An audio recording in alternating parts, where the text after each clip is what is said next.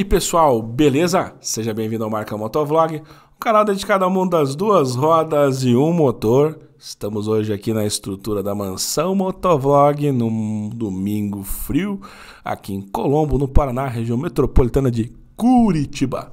Se você caiu de paraquedas nesse vídeo, eu sou o Marcos, esse aqui é o único canal do YouTube Brasil que faz motovlog e fala na terceira pessoa. Estou voltando de uma gripe, minha garganta meio ruim, mas estamos aqui firme e forte produzindo, trazendo conteúdos para vocês. Lembrando que o nosso objetivo desse canal, o maior objetivo dele é que você rode de moto. Então, cara, a melhor moto que existe está lá, na tua garagem. Então, como eu sempre falo aqui, sai do sofá, pega a sua moto e bota ela para rodar, cara. É só alegria, só diversão você poder andar de moto. Bem, hoje eu preparei uma pauta aqui, ó, especial para vocês. É, vocês viram o título aí? A Kawasaki véia Z650RS, a musa do verão. Rapaz, confesso pra vocês, quando eu vi essa moto lá na gringa, eu vi uns vídeos lá e eu falei, cara, legal, mas eu não tinha muita fé que a Kawasaki trouxesse essa moto pro Brasil. Aí os rumores foram aumentando, Kawasaki finalmente trouxe, inclusive, eu não consegui aí, teve até na Kawasaki aqui de, de Curitiba, teve o lançamento da Z900 é, com cor vermelha, uma, uma, série especial comemorativa de 50 anos da Kawasaki. E o que mais? Ah, e a Z650 que o pessoal tinha lá. Cara, eu não botava fé.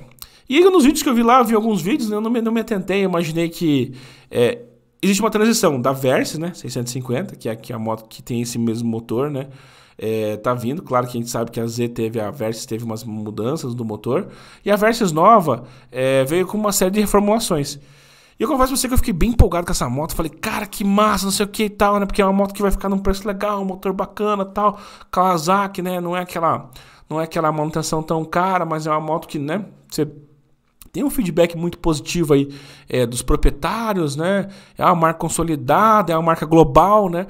É, posso ter uma moto ali. Eu fiquei bem louco, cara. Estava quase vendendo minha CB500X, falando, cara, vou comprar a Z650. Eu gosto desse estilo de moto, né? Tive a Interceptor, porra, adorava a Interceptor. É a minha querida inglesinha de Araque. E eu falei, cara, ia ser perfeito, né? Tal. Pois bem, e, eu e aí, vem, aí vem a visão, né? Marcão velho virou um fanboy da Z. Fechou assim, ó, fechou só conseguia ver coisa massa na moto. Aí quando veio a ficha técnica, o Rick tava lá no evento da Duas Rodas e mandou a ficha técnica completa. E eu fui ver uns vídeos na gringa, eu falei, cara, pô, Kawasaki, sério mesmo? Que tu cagou com a moto? Cagou com a moto. Então assim, a ideia desse vídeo é que não é desanimar você comprar uma Z650 RS. Mas, cara, vou te pôr uns pontos aqui de um cara que foi uma proprietária de uma moto, que é concorrente dela, que é a Interceptor, né? E eu entendo que ela é superior, eu entendo que ela é superior a, a, a, a, Interceptor, a Z. Mas vamos lá, vou te mostrar a ficha aqui, vou te dizer os pontos ali que eu não gostei. E a Kawasaki, pelo preço, assim, cara, vai vender agora, no hype. Depois a galera vai cair na real não sei não. É, eu acho que voltam, volto a olhar para as Triumph, tá? Confesso pra você que eu vou explicar o porquê. Vamos ali. Mas antes, segue aí um recado super importante, confere aí. E aí, pessoal, pausando teu vídeo rapidinho, porque eu quero te fazer uma super indicação de alguns canais para você acompanhar no mundo das duas rodas. São canais que eu assisto, canais muito bacanas que você vai gostar bastante. Todos os canais que eu citar aqui vão estar com o link na descrição. E se você puder ir lá se inscrever e dar uma força para os canais, eu tenho certeza que você vai gostar muito do conteúdo que vai estar apresentando lá. O primeiro canal que eu quero te indicar é do meu querido amigo Daniel Albeni, o grande motoqueiro americano de Araque, do canal Moto Diário. Todos os dias trazendo uma série de informações, destaques, lançamentos, especulações do mercado para você todos os dias. Também quero que você vá no pior, exatamente, no pior canal do YouTube, que é do meu querido irmão Chico Sepúlveda. É aquele lascado. Ele tem dois canais. Chico Sepúlveda, todos os dias com vídeos para te atender sobre motociclismo. E se você tá com alguma dúvida, não sabe se põe álcool, se põe gasolina, não sabe se vai para esquerda, se vai para direita, se compra uma 3, se compra uma custom, não sabe se vai de Tobata ou se vai de bicicleta, se inscreve no Sepúlveda Verso, lives quase todos os dias. E ele vai estar tá podendo te responder todas as suas dúvidas sobre moto, beleza? Se inscreve lá que você vai gostar. E se você gosta de uma polêmica, de um conteúdo diversificado, vai no Papo na Moto do meu querido amigo Riquinho, Rick, o cara mais polêmico e um dos maiores especialistas em mobilidade elétrica do Brasil. Falou em mobilidade elétrica, falou Rick do Papo na Moto, se inscreve lá, show de bola, esse eu recomendo de coração. E para não faltar, também quero que você vá conhecer todas as motocicletas do mundo. E quem tem essa missão e está conseguindo fazer com primazia é o nosso querido amigo Bill Motoca. É, o Bill Motoca, o nosso querido radialista que veio para a plataforma do YouTube. Se inscreve lá no canal do Bill, show de bola. E se você quer adrenalina, ver os vídeos que realmente são de impacto, vá lá no X Racing, o canal do nosso amigo Edu, que está sempre coletando todos os acontecimentos e ele compila isso para você de uma forma primorosa. E para não faltar, né, não podemos esquecer aqui, o nosso queridíssimo amigo Oráculo, aquele cara que anda em vários segmentos de moto, viagens em vários continentes, que é o meu querido Bárcio do canal Vou Estrada Fora, né, o Vou Estradeiro, velho estradeiro, cara com conhecimento, se inscreva lá no canal. Esses são os canais dos nossos amigos que eu peço para você se inscrever, você vai gostar bastante do conteúdo. E deixe nos comentários se você já é inscrito nesse canal, se você conhece, não conhece, ou se você recomenda algum canal também deixe aqui nos comentários, beleza? E agora vamos voltar pro vídeo. Muito obrigado aí, forte abraço, valeu! Opa, tamo aí, vamos lá, tamo aqui, já tô no site da Kawasaki Brasil, né? Aonde ela coloca aqui, ó, que a Z650 Revolution. Hum, não sei, cara. Ó, aqui tá 47,530 mais frete, né? É, aqui já vem a primeira coisa que eu quero dar nos dedos, né? Tem uma foto aqui do salão é, lá duas rodas, dona Kawasaki, que tava dizendo que o frete estava incluso. Vou colocar a foto aí, ó. Foto dizendo que o frete estava incluso. Agora já é mais frete. Ou seria mais ágil, né? O bom e velho ágil. Aqui a galera de Curitiba tá vendendo por 48,990, né? Porque, né? R$ 1.500 para trazer essa moto lá de Manaus, não né? sei se bem desse ágil. Então aí tem que dar uma brigada. Eu vi um pessoal me falou, meus amigos de Botucatu, o Júlio Otto lá, e o pessoal esteve aqui em casa essa semana, me falaram de uma concessionária lá em Botucatu, acho que é. Júlio, se você lembrar, vê esse vídeo, coloca no comentário lá, que os caras vendem a, a, a Kawasaki, o preço do site, os caras vendem na loja. Então pode ser que você consiga fazer um negócio melhor. Cara, a moto tá aqui, não vou entrar muito nas questões. A moto é bonita, né? Não temos nem o que, o que dizer sobre, sobre a moto, né? Ela é, é uma moto muito bacana, né? Primeiro ponto que ela veio numa única cor, né? Ela veio só com essa cinza, né? Lá fora a gente tem uma cor vermelha, né, que é igual tem na 900, e tem a verdinha, né, que é a que remete essa moto lá na década, acho que é de 70, que tinha essa moto, né, que é a que ela remete ali, né. Aqui a gente tem a questão do painel, né, isso que eu acho legal, de ter até a parte digital aqui no meio, os analógicos, né, o que é muito legal, que para mim é, é um item que com, fica bem melhor do que, por exemplo, a Tridente 660 da Triumph, que era uma outra moto aí que eu acho muito legal, mas ela é muito mais futurista, com só um leve apelo retrô. Essa aqui não, ela é uma moto retrô, é, tecnológica, né, com, com as informações. Mas não tecnológica assim, por esse preço aqui, vamos lá. É, o que, que você espera, né? Quando você pega uma moto como essa, o que, que ela tem de tecnologia aqui, ó? Ela tem embreagem assistida e deslizante, isso é muito legal, cara. Embreagem deslizante é segurança, cara, pra tua roda atrás não quicar. Quem tem mania de frear, eu, é um comportamento que eu tenho. Você vai freando a moto, reduzindo as marchas, a embreagem deslizante é fundamental para você. Eu já passei uns apertos com a que às vezes dava umas reduzidas ali, e eu, minha roda já chegou a quicar atrás, né? É, então, a assistida já não deixa. Então, eu entendo como um item de segurança. É, perdão, a deslizante, né? E a assistida, cara, é conforto, né? Pô, a minha a CB500X tem a mesma situação, né? De ser assistida deslizante. Cara, é uma manteiguinha ali, né? Pra você poder mexer, cara. Você fica até meio, meio né? Vai ficando com a mão, mão tranquilo ali. É... Válvula, aceleração dupla, não sei nem para que, que serve. É... Mas, segundo a Kawasaki, é tecnologia. Aqui tem as informações, já dá para ter mais dados, né? Indicador de plotagem Aqui ela explica, ó, tem até uma explicaçãozinha da Kawasaki aqui, o que, que faz. Legal, bem completinho site da Kawasaki. E a tecnologia de gerenciamento de chassis vem o ABS e a suspensão com backlink horizontal. Aqui, cara, é que começa o problema. Aqui começou, né? É, até, ah, até não coloquei, cara. Peraí, peraí, peraí, peraí, peraí, peraí, peraí, peraí. Deixa eu voltar, deixa eu voltar, voltar.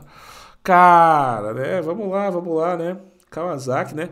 Kawasaki é a música do verão. A galera que é das antigas vai lembrar aqui, ó. Lembra daquela musiquinha, a música do verão?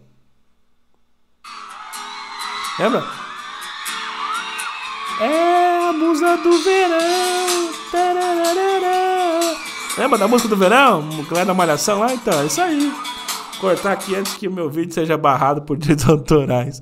Então, cara, quando eu tava tão alucinado com essa moto, que eu falei, cara, é a musa do verão, pá. Cara, mas foi aquelas paixão de verão. Sabe aquele paixão que você vai no carnaval?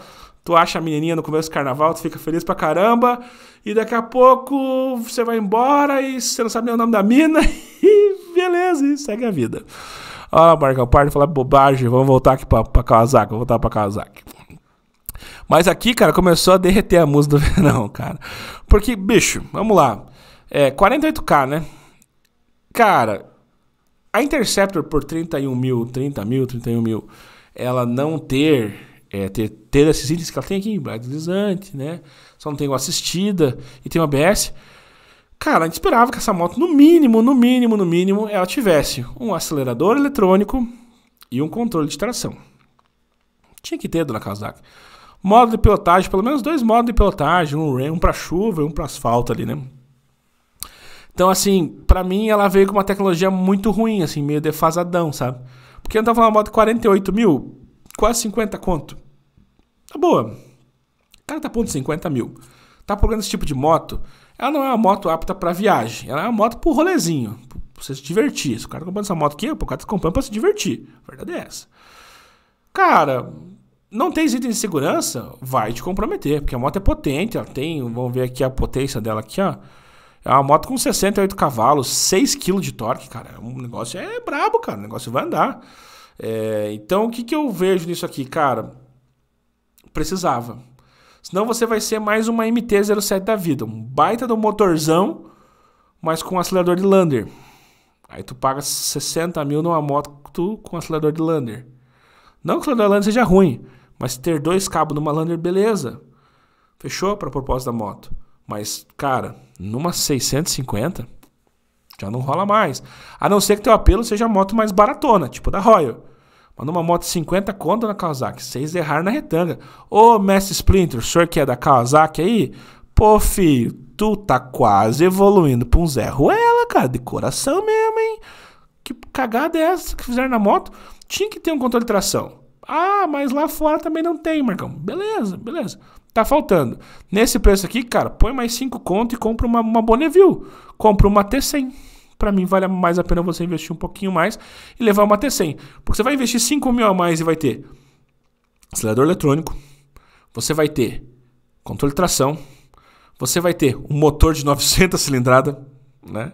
Que vai ter um torque muito superior a esse. Cavalaria é a mesma, mas um torque muito superior. E alguns itens a mais, né? Então ali você já vai ter um disco de freio muito mais otimizado do que esse que vem nessa moto. É, um ronco mais legal, enfim, um painel, um painel bacana. Painel eu diria que seria equivalente ali. Mas tá entendendo? Que faltou aqui? Faltou, faltou tecnologia, tá, Kawasaki? Infelizmente faltou aí. Japonesada aí, abre o olho que vocês estão pisando na bola. É, outra coisa que, que aí terminou de afundar o meu amor pela, pela Z, né? Ali afundou de vez.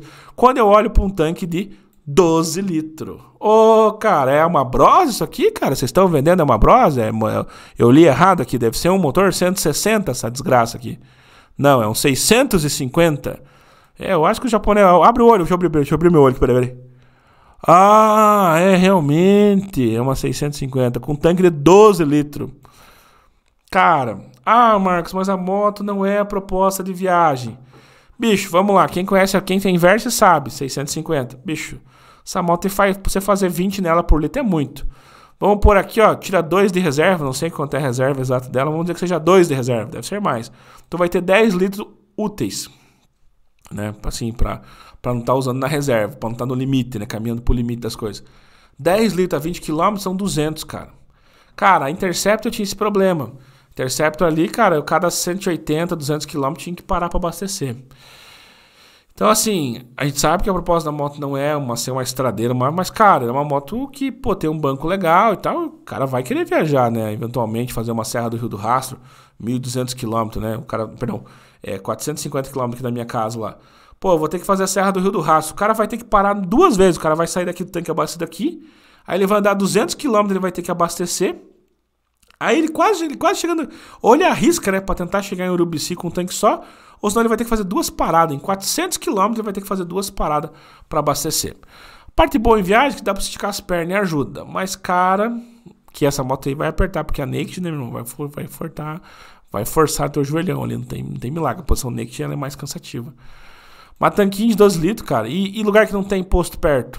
Como é que faz? Aí lá vai o cara carregar um galão, né, na moto, né, pra fazer uma viagem. O cara quer ir pra Atacama com a moto dessa, que era uma ideia que eu tinha, né, fosse que seria minha moto principal pra viagem. Como é que vai? Como é que faz? Não faz, né, irmão? Não faz. Então, assim, ó, na boa, quase 50 conto numa moto que não tem controle de tração. Cara, 50 pau. Tem que ter ABS, embreagem deslizante, assistida, tem que ter acelerador eletrônico que é muito mais confortável, tem que ter os modos de direção e tem que ter controle de tração. Cara, não pá, não compra uma moto, você vai ter que pôr quase 50 mil. E não tiver isso, não compra, velho, não compra. Daí eu dou aqui a mão palmatória, parabéns pra Roy, porque a moto é 31 mil, cara. Pô, eu posso comprar, pelo preço dessa Kawasaki, eu consigo comprar uma.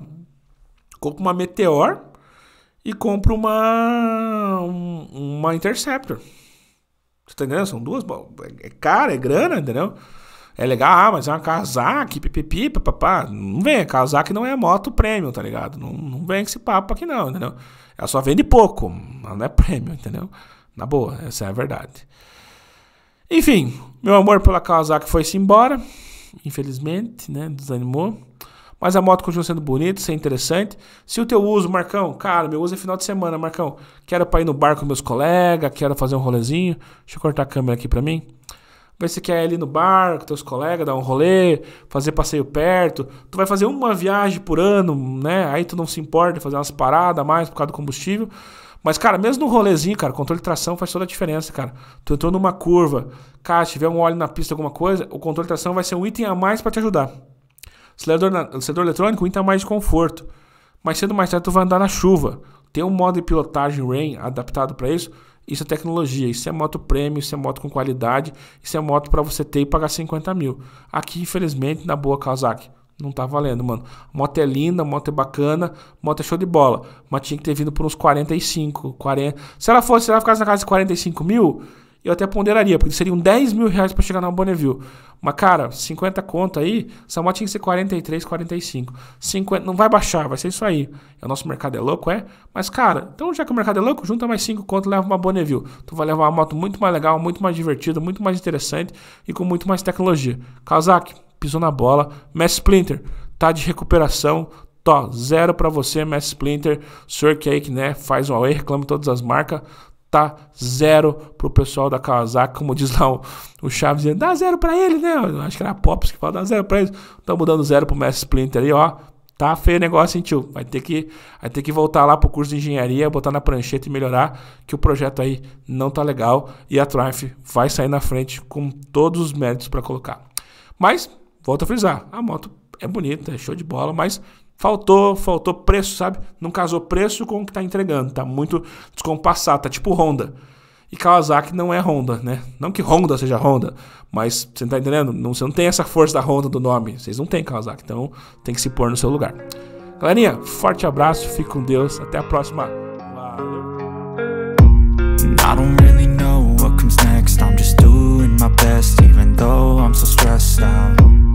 Everything just feels like a test that I fail so depressed when I can't seem to get out. But something deep inside won't let